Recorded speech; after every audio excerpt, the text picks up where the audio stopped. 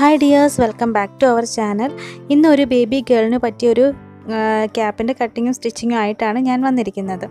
ഇനി കുറച്ച് മാസത്തേക്ക് ചൂട് സമയമല്ലേ? എന്തായാലും കുഞ്ഞുങ്ങളെ കൊണ്ട് പുറത്ത് പോകുമ്പോൾ ഒരു തൊപ്പിയോ കൂടെയോ നമ്മൾ കൂടെ കൊണ്ടുപോകണം. അപ്പോൾ തൊപ്പിയല്ലേ കൂടുതലും കംഫർട്ടബിൾ ആയിട്ടുള്ളത്? അപ്പോൾ ഒരു തൊപ്പി വാങ്ങി ആരും ഇനി കാശൊന്നും കളയേണ്ട. നമ്മുടെ വീട്ടിൽ തന്നെയുള്ള തുണി കൊണ്ട് ഒരു അടിപൊളി നമുക്ക് തൊപ്പി തുന്നിയെടുക്കാവുന്നതാണ്. ഇതിന് വേണ്ടിയിട്ട് നമ്മൾ സെപ്പറേറ്റ് തുണി വാങ്ങിയൊന്നും വേണ്ട. നമ്മുടെ വീട്ടിലുള്ള തയ്ച്ചതിന്റെ ബാലൻസ് വന്നിട്ടുള്ള തുണികൾ ഉണ്ടെന്നുണ്ടെങ്കിൽ അത് തന്നെ മതി. നമുക്ക് ഇത് തുന്നിയെടുക്കാൻ വേണ്ടിയിട്ട് കോട്ടൺ മെറ്റീരിയൽ ആണെന്നുണ്ടെങ്കിൽ കുറച്ച് നന്നായിരിക്കും.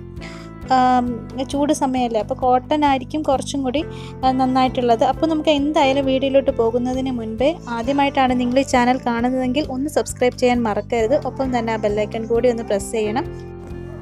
നമുക്ക് വീഡിയോയിലോട്ട് പോകാം. അതിന്റെ മെഷർമെന്റും സ്റ്റിച്ചിങ്ങും എങ്ങനെയൊക്കെയെന്ന് നോക്കാം.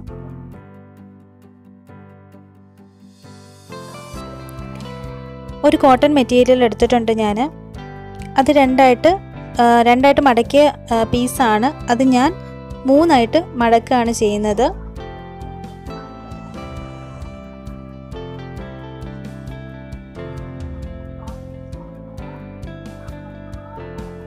മൂന്നായിട്ട് മടക്കി ഇട്ടിട്ടുണ്ട്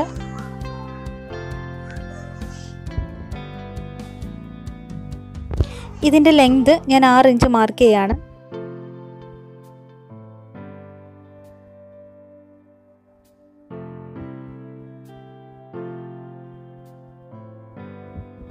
വിട്ത്ത് നാലിഞ്ചും മാർക്ക് ചെയ്യുന്നുണ്ട്.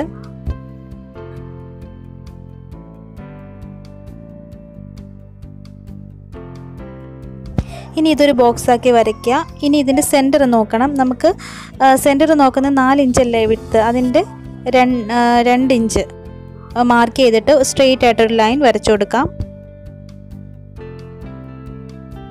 ഇനി താഴെ നാല് ഇനി മൂന്ന് ഇഞ്ച് മാർക്ക് ചെയ്യണം സെന്ററിൽ ഒന്നര ഇഞ്ച് വരുന്ന രീതിയിൽ വെച്ചിട്ട് മൂന്ന് ഇഞ്ച് മാർക്ക് ചെയ്യാം. അതുപോലെ രണ്ട് ഇഞ്ച് മാർക്ക് ചെയ്യാം. ഇനി ഇതൊന്ന് ജോയിന്റ് ചെയ്ത് കൊടുക്കാം.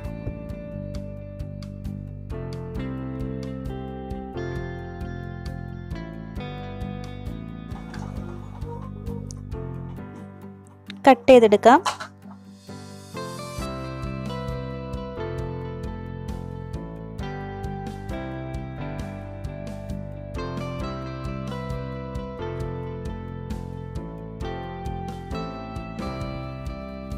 കട്ട് ചെയ്ത് മാറ്റിയിട്ടുണ്ട്. അടുത്തതായിട്ട് ഞാൻ ലൈനിങ്ങിന്റെ തുണി എടുത്തിട്ടുണ്ട്. അതും രണ്ടായിട്ട് മടക്കി വെച്ചിരിക്കുന്ന തുണിയാണ്. രണ്ടായിട്ട് മടക്കിയ തുണി ഞാൻ മൂന്നായിട്ട് ഒന്നുകൂടി മടക്കിയിട്ടുണ്ട്. നമ്മൾ കട്ട് ചെയ്ത് വെച്ചിരുന്ന പീസ് അതിന്റെ മീതെ വെച്ചിട്ട് ലൈനിങ് കൂടി ഒന്ന് കട്ട് ചെയ്തെടുക്കാം. അടുത്തതായിട്ട് നാലിഞ്ച് വീതിയിൽ ഞാനൊരു പീസ് തുണി കട്ട് ചെയ്ത് മാറ്റുന്നുണ്ട്. നമ്മുടെ ക്യാപ്പിന്റെ സൈഡിൽ വെച്ച് പിടിപ്പിക്കാൻ ഇത് ഇനി നമുക്ക് ഇതിന്റെ സ്റ്റിച്ചിങ് നോക്കാം.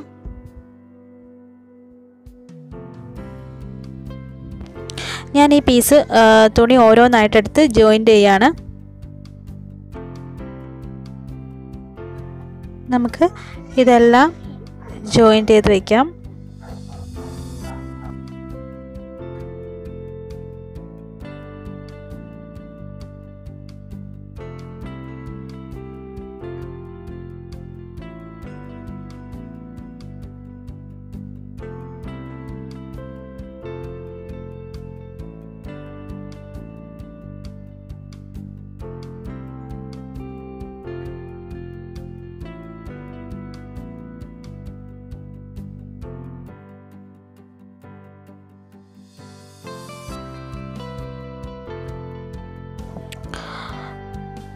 ഇപ്പോൾ ഇതെല്ലാം ജോയിന്റ് ചെയ്തിട്ടുണ്ട്. ഇനി ചെയ്യേണ്ടത് ഇതിന്റെ സൈഡിൽ വെച്ച് പിടിപ്പിക്കാനുള്ളതാണ്. നമ്മൾ നാലിഞ്ചിന്റെ പീസ് ഒരെണ്ണം കട്ട് ചെയ്തെടുത്തിട്ടുണ്ടായിരുന്നില്ല. അതിന്റെ സൈഡ് ക്ലോസ് ചെയ്തിട്ട് സൈഡ് അടിച്ചിട്ട് നമുക്കിതിനകത്ത് സൈഡിൽ ഞുറു വെച്ച് വെക്കുന്ന രീതിയിൽ ഒന്ന് സ്റ്റിച്ച് ചെയ്തെടുക്കാം.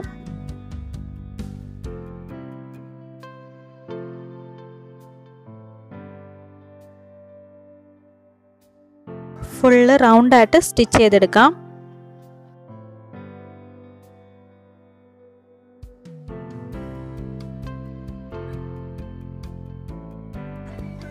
സ്റ്റിച്ചിങ് കംപ്ലീറ്റ് ആക്കിയിട്ടുണ്ട്. ഇനി അടുത്തതായിട്ട് ചെയ്യേണ്ടത് ലൈനിങ് സ്റ്റിച്ച് ചെയ്യാന്നുള്ളതാണ് ലൈനിങ് നമ്മൾ ആദ്യം ചെയ്ത മാതിരി എല്ലാം ഒന്ന് ജോയിന്റ് ചെയ്തെടുക്കാം.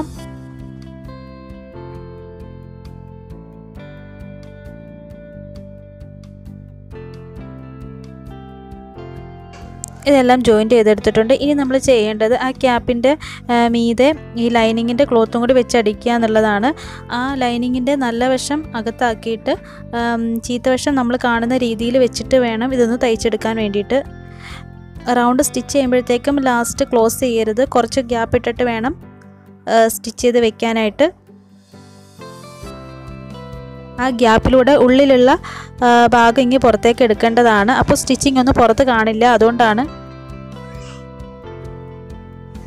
ഇനി അതിനകത്തുള്ളിലുള്ള ഭാഗം നമുക്ക് പുറത്തെടുത്ത് കാ-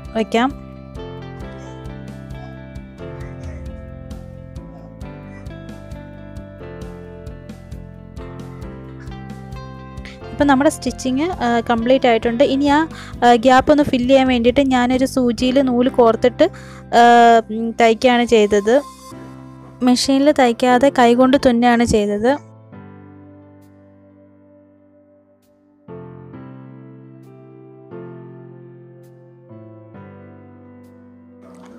ഇപ്പോൾ നമ്മുടെ ക്യാപ്പിന്റെ സ്റ്റിച്ചിങ് കംപ്ലീറ്റ് ആക്കിയിട്ടുണ്ട്. ഇനി ചെയ്യേണ്ടത് ഈ ക്യാബിന്റെ സൈഡിലൊരു ബട്ടർഫ്ലൈയോ ഫ്ലവറോ എന്തെങ്കിലും നമുക്കൊന്ന് വെച്ച് പിടിപ്പിക്കാം.